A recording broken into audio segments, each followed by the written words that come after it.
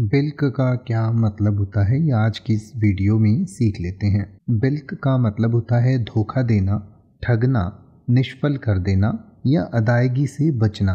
यानी कि जैसे आपने कोई लोन लिया या कोई आपकी पेमेंट है, वो आप नहीं कर पाते हैं या उसको करने से बचते हैं या किसी के साथ किसी को पैसे देने में धोखाधड़ी करते हैं तो उसको बिल्क करना कहा जाता है। यानी कि bilk is a verb that means to cheat or defraud someone, specially by failing to pay a debt or fulfil a promise यानी कि किसी वादे को पूरा न करना या किसी ऋण को, यानी कर्जे को नहीं चुकाना को बिल्क करना कहते हैं। It can also mean to evade payment or to obtain something dishonestly इसका ये भी मतलब हो सकता है कि किसी पेमेंट से बचना या कोई पेमेंट नहीं करना, या किसी चीज़ को धोखे से हड़प लेना या धोखाधड़ी करना को बिल कहा जाता है। तो इसको और डिटेल से अगर आप समझना चाहते हैं तो आपकी स्क्रीन पर दिया गया है, आप इसे पढ़ सकते हैं।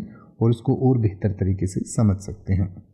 अब आप ऐसे ही किसी भी वर्ड का मतलब हिंदी और इंग्लिश में YouTube पर सर्च कर सकते हैं। आपको मेरी वीडियो मिल जाएगी, जिसमें आप बिना किसी फालतू बकवास के सीधा उस वर्ड का मतलब समझ पाएँगे। तो ऐसी ही वीडियोस को देखते रहने के लिए चैनल को सब्सक्राइब करें और बेल आइकन को प्रेस करें।